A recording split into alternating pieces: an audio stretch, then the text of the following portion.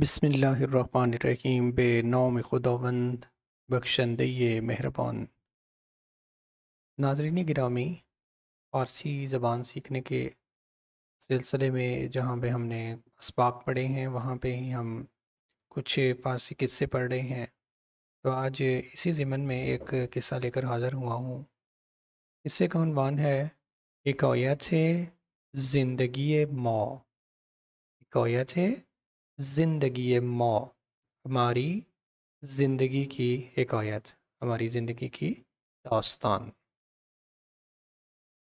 لکھا ہے، روزی، موشی، در خانه صاحب مزرعه تلی موش دید روزی، ایک دن، موشی، ایک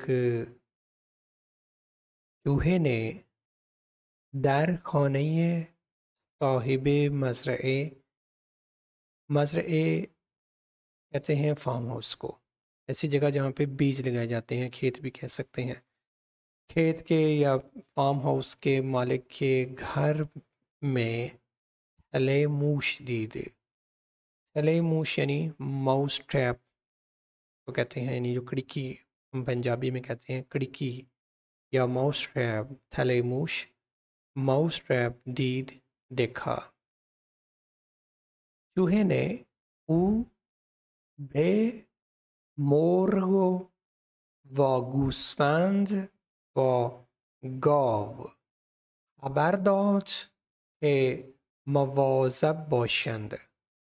اس نے مرغے کو و گوسفند اور بھیڑ کو گاو اور گائے کو خبر داد ان کو بتایا کہ مواظب باشند کہ وہ احتیاط کریں جو صاحب مزرعے ہے فارم ہاؤس کا مالک ہے اس نے اپنے گھر میں ماؤس ٹریپ لگایا ہوا ہے تم لوگ اپنا اپنی خیر مناؤ تم لوگ بہت زیادہ احتیاط کرو تم اس میں پھنس سکتے ہو ہمیں گفتند ہمیں گفتند سب نے کہا۔ علیہ موش، مشکل پوسٹ بما ربطی ندارد سب نے کہا کہ ماؤس ٹریپ مشکل تھوسٹ تمہاری مشکل ہے۔ بما ربطی ندارد ہمارے ساتھ ربطی ندارد اس کا کوئی تعلق نہیں ہے۔ همین لحظه همین لحظه ماری در تله افتاد و زن مزرعه دار را گزید.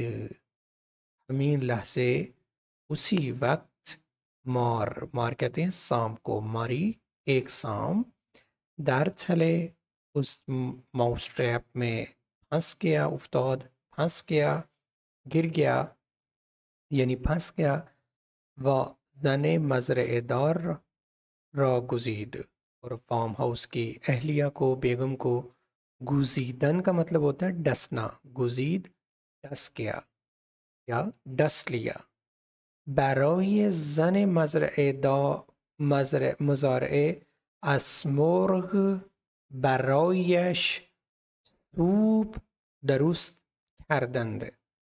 برای زن مزرع مزارع اس فارم ہاؤس کے اہلیہ یا بیگم کے لیے اس مرغ اس مرغ یعنی جس نے کہا تھا کہ اس تھیلے موش، اس ماؤس ٹریپ کا میرے ساتھ کوئی تعلق نہیں۔ اس مرغ کی یخنی بنائی گئی، سوپ درست کردن یعنی اس کا سوپ بنایا گیا۔ گوس فند را برای ایادت کنندگان، سر بریدند۔ بھیڑ کو ایادت کنندگان ایادت کرنے والوں کے لیے سر بریدن حلال کیا گیا، ذبح کیا گیا۔ گاو را برای مراسم ترہیم کشتند۔ گائے کو اس کی اہلیہ کے جو مراسم ہوتے ہیں، ختم وغیرہ، اس کے لیے ذبح کیا گیا۔ و در این مدت اور اس تمام وقت میں موش از سوراخ دیوار نگہ می کرد. اس تمام مدت میں چوہا دیوار کے سوراخ میں سے نگاہ می کرد. دیکھ رہا تھا واب مشکلی کے بے دیگران رابط نداشت ایک می کرد اور اس مشکل کی طرف جو دوسروں کے ساتھ یعنی مور گو گوسفند و گاو، ان کے ساتھ اس مشکل کا کوئی دور دور تک تعلق نہ تھا، اس کے بارے میں وہ سوچ رہا تھا۔